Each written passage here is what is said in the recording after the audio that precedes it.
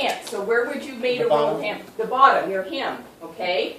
But what size of a rolled hem did you do? You turned under half. half inch and then you turned under. One.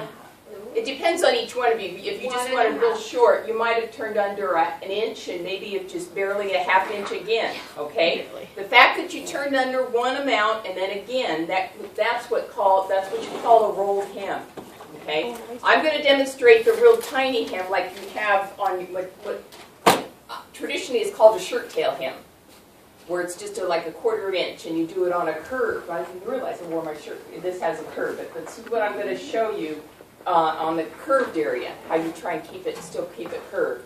Um, and the inward curve and an outward curve. And then next week I'm gonna do zippers. And then I think, I think I pretty well have demonstrated, and I know all of this is. was that- Bless me. Oh, okay. I thought something was going crazy. Um, I think we've hit most all of them, and then when you start to do your samples, if you have questions, obviously I'll help you with them.